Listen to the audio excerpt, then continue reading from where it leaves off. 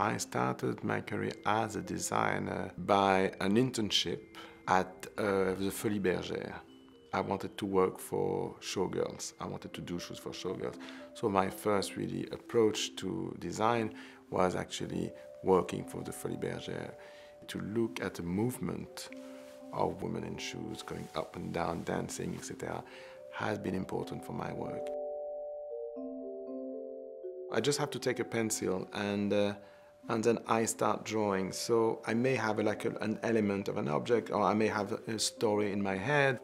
It can be a button, for instance, that I found somewhere. Or it can also be a woman that I've been seeing and I thought, well, she represents that type of shoe, etc. You know. And then I'd try to reproduce that story through a shoe. The first really practice as a designer in a house was I started to work for Charles Jourdan for one year. One day, this guy arrives. He was a, a technician specialist in the heels. So he was modeling the heels.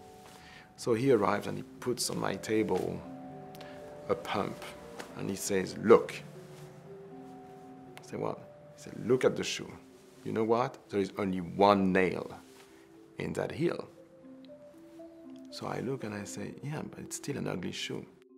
I thought it requires a lot of energy to be a good technician, but that's not my problem. I'd rather have all my energy concentrated on imagination than putting it at the service of the technique. So to me, technical things are at the service of imagination and not the opposite.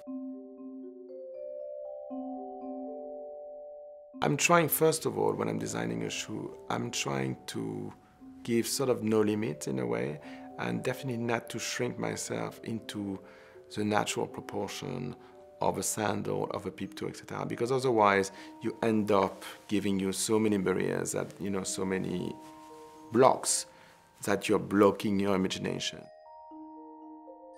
I definitely feel a strong emotional connection to shoes I've been designed. And I have a type of love and hate relationship with some of them. Emotion is something that you're sharing with people, so that's why when you have an emotional link with your design, it's very nice that it's shared with a lot of people.